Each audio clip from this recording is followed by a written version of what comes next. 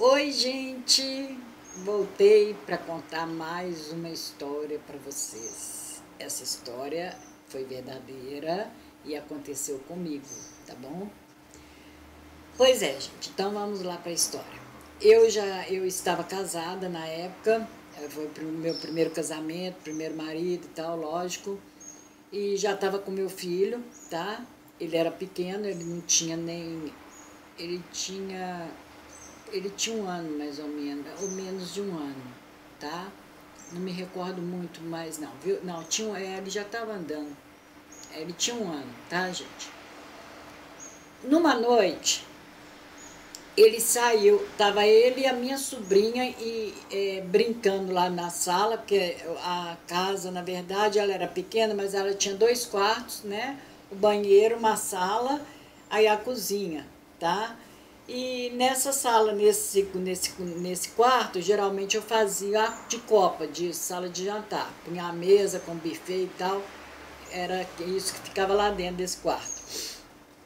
É, e tava eu e minha irmã, o meu cunhado e meu, meu, ex, meu marido conversando na sala, né? E, e o Cristiano, que é meu filho, mais a minha sobrinha Alessandra brincando entrava para dentro desse, desse quarto onde que é a copa e tal, saía. E de repente seu Cristiano saiu lá de dentro, né, nessa brincadeira deles, mas ele deu um grito tão feio. Ele assustador, um grito assustador. Que eu, mas minha irmã e meu cunhado e marido levantamos tudo, levamos o maior susto e perguntamos o que, que foi, Cristiano, o que, que você viu e tal. Mas o menino era muito pequeno, tinha um ano. E a minha sobrinha mesmo ficou sem saber se, não sei se ela também viu, mas parece que não, porque quem assustou mesmo e ficou muito apavorado foi o meu filho. Tá.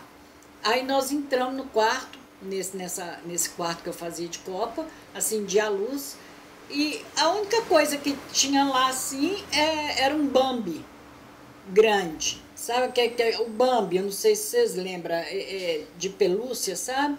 Ele era com ele é bem alto, sabe? Eu pensei dele ter assustado com aquilo.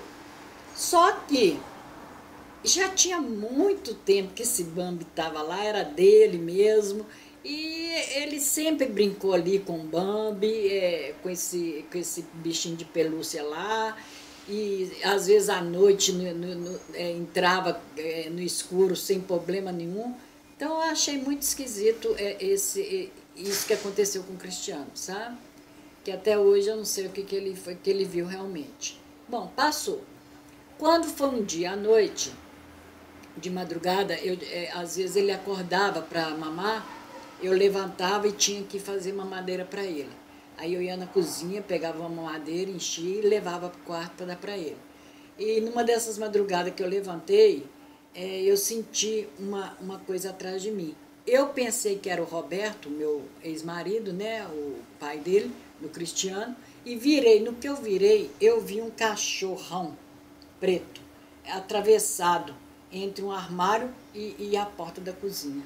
Mas eu levei tanto susto que eu voltei para a pia de novo, assim, e rezei o credo. Foi a única coisa que eu lembrei na hora.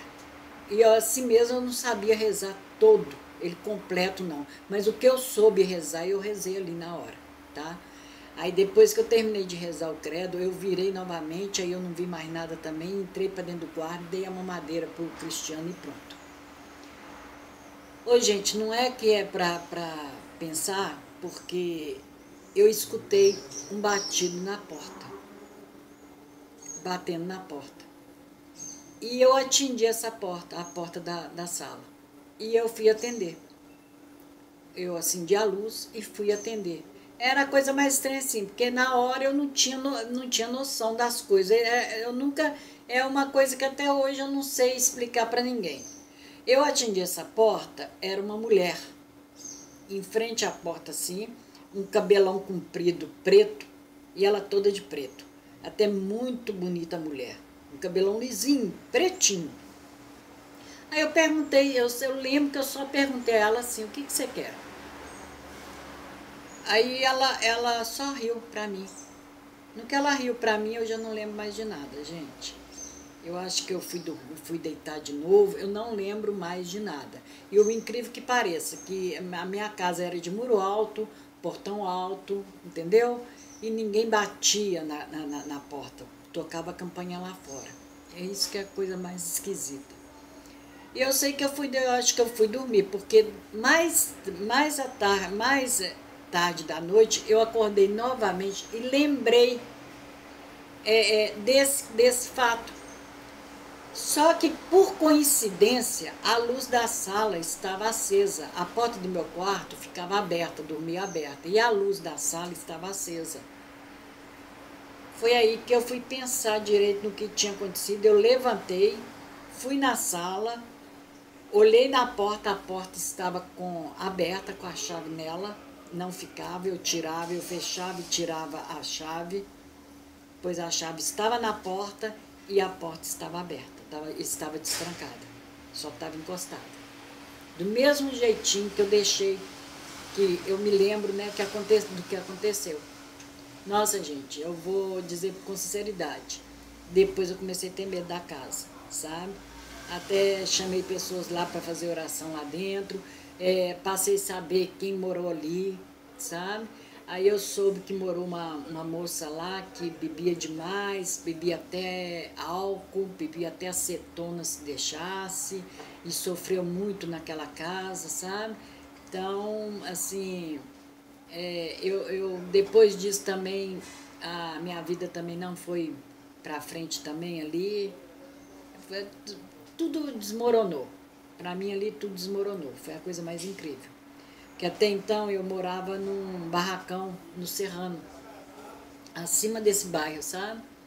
E lá, graças a Deus, nunca tinha acontecido nada comigo, não, nem.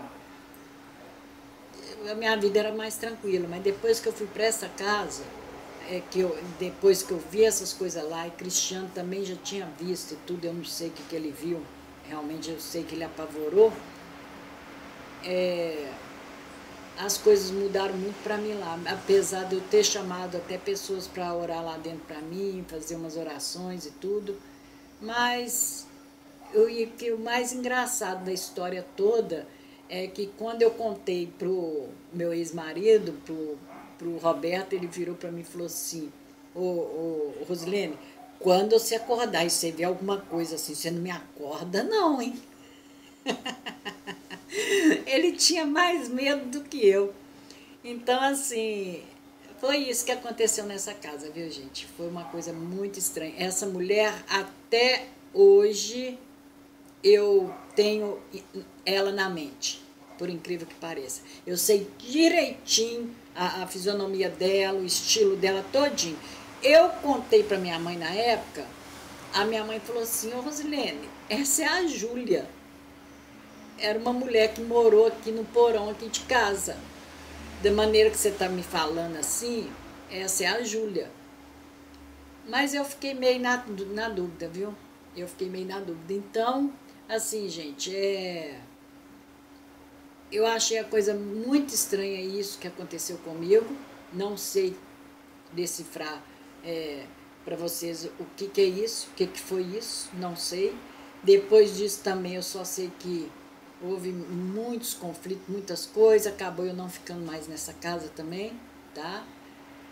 É, não só por causa, não foi por causa disso não, foi por outros problemas que começou a aparecer logo depois de, disso aí, foram só acontecendo casos, mais casos, coisas, mais coisas, e acabou eu saindo dessa casa, tá?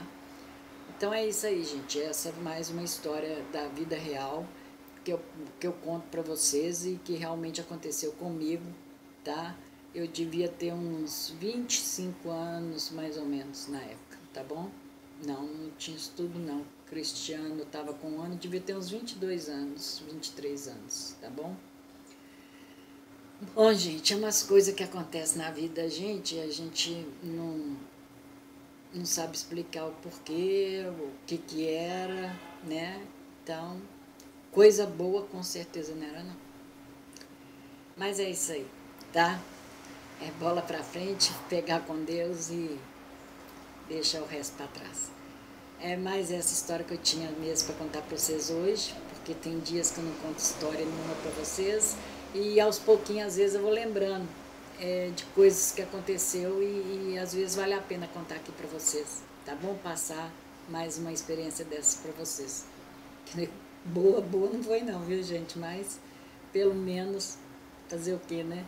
Ô gente, então é isso, tá? É um bom fim de tarde para vocês, de segunda, tá? E espero vocês no meu próximo vídeo, tá bom? assistam minha, minha, meus vídeos, é, curtam, tá? É, deixe seu like, comente, tá bom? Fiquem comigo, se inscreva no meu canal, eu garanto que vai ter muita coisa boa ainda pela frente, tá bom, gente? Beijo no coração de cada um de vocês e mais uma vez, fiquem todos com Deus. Tchau, gente!